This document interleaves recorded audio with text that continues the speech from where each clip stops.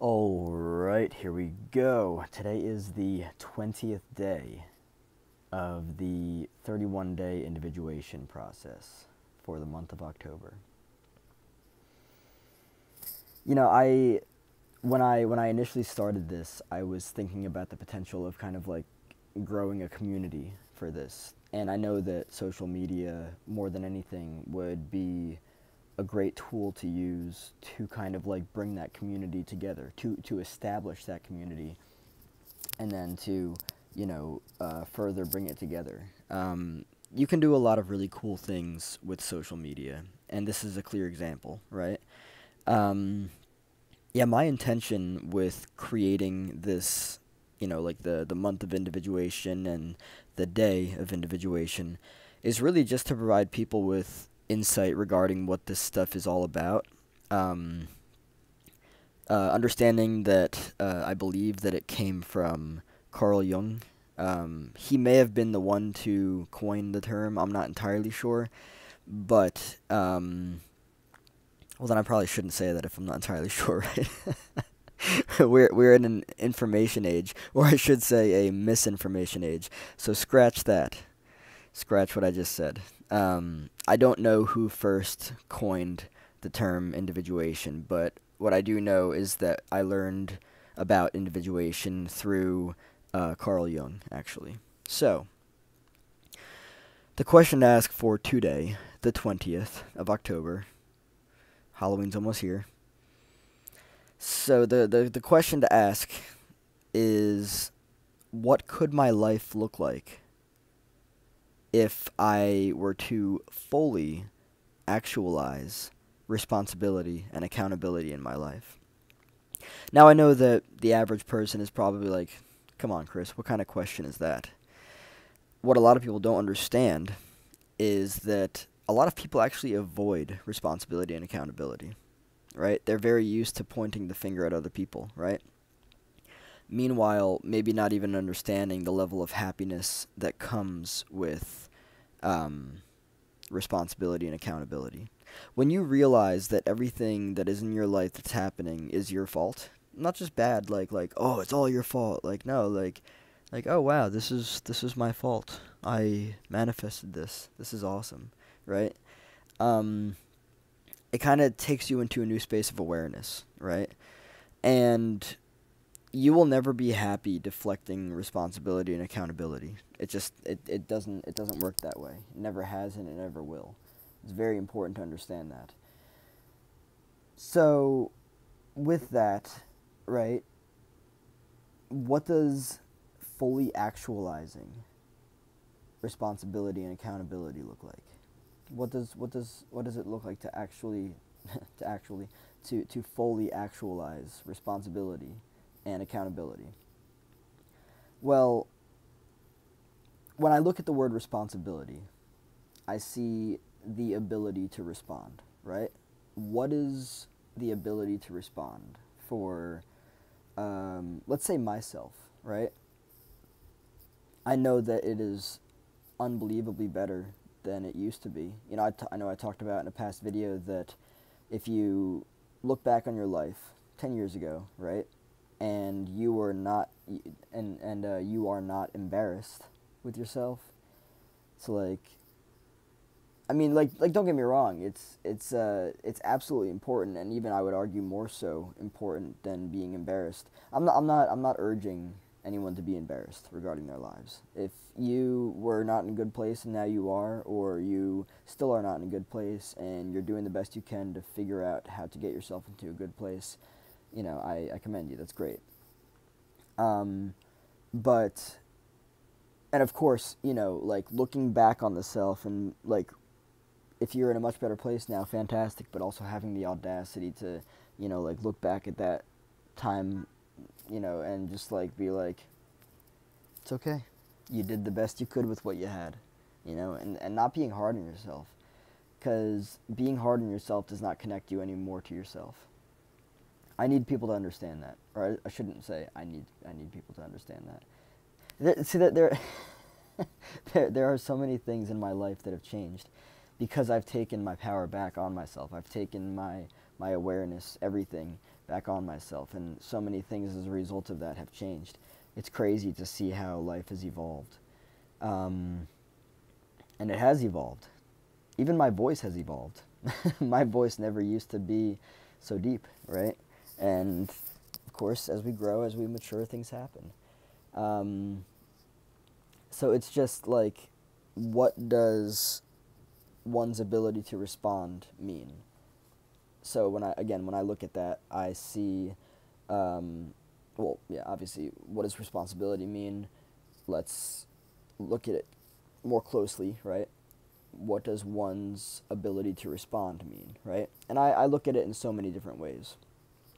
Let's look at this one specifically, though. Like, when something happens in your life, right? You have an ability to respond. And if you're responding from a standpoint of reactivity, right? Just like impulsiveness, just like, you know, something happens and then you just go crazy, right? that's going to give you a very specific um, outcome, right? But instead, if you were to, you know, like look at everything and kind of like take a step back and stuff, come at it from a conscious standpoint. Eckhart Tolle actually, um, he talks he talks a lot about this. He talks a lot about like consciously responding and everything, and like taking the time to just like you know like just really like being in the moment before you even start to think anything, right? Human beings are on a path of conscious evolution, right? When you look back at the past and where we've come from, you can clearly see insanity. it's just the way that it is, or the way that it was, um, in every sense of the word. Uh, it, dysfunctionality that exceeds unhealthiness, right? So like it's just like it's like banging your head into a wall, into a, a brick or a concrete wall. Why would you do it, right? I think that looking back on history and everything, there are many examples that we can look at that would leave us thinking, why did we do that ever? And it might take a while for what I'm about to say to actualize, but I think that we'll come to a point in life where we're going to look at things like war. We might even look back on them, right? Um, and I'm, I'm sure I could get you know some hate for this. I don't I don't I don't care. You can call me whatever the fuck you want to. It doesn't bother me. Um, I think that at some point in the future, I don't know when, but we're going to realize that we were wrong about our means of doing things, about our decisions and everything. Uh, different personality characteristics fucked things up. Like that's just the way that it is. Um, so like when I when I look at like how things are now, right?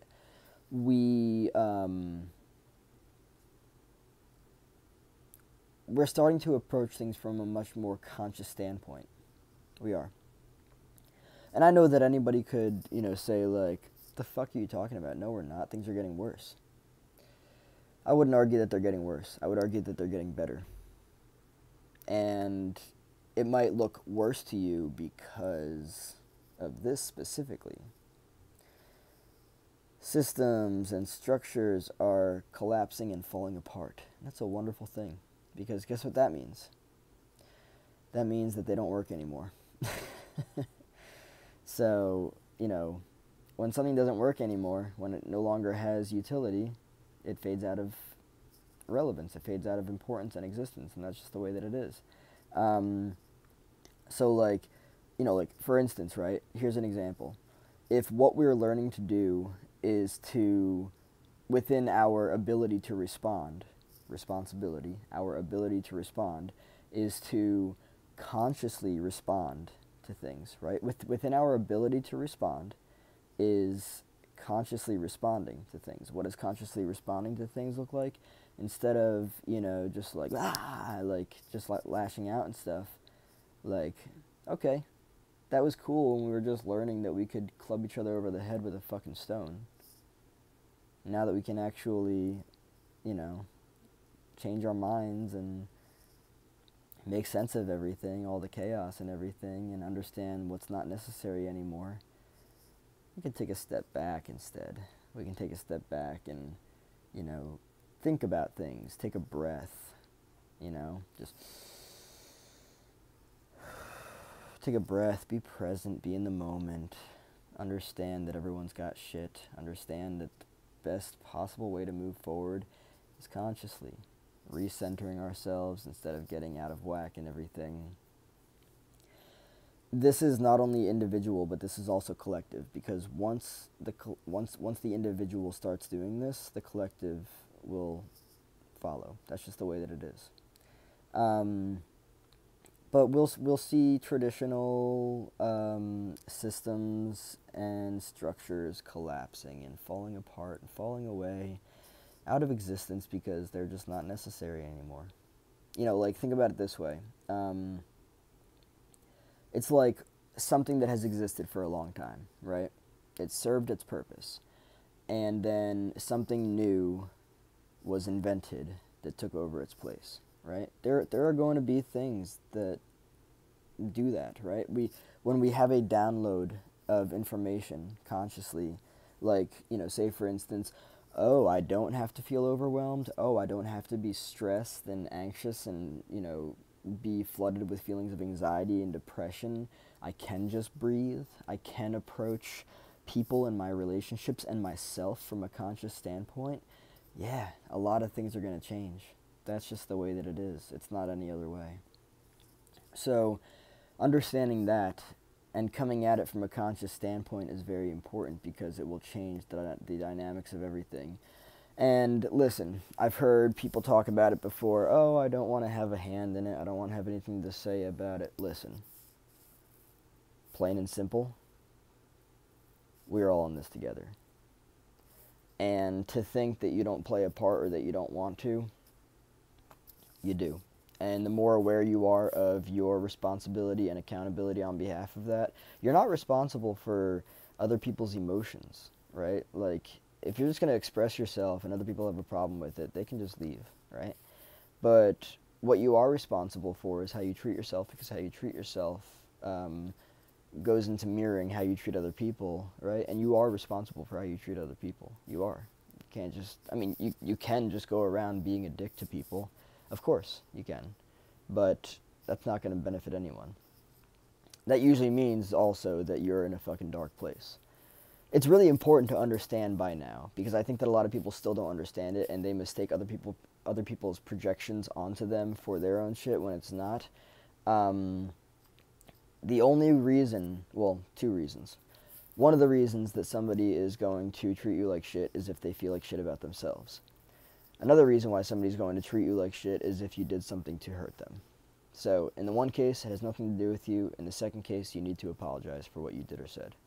Um, but yeah, again, this is all a matter of bringing the energy back to the self, bringing the awareness back to the self, bringing the intention back to the self. We cannot do anything better for this world or for anybody else until we do better for ourselves. And it's really that simple.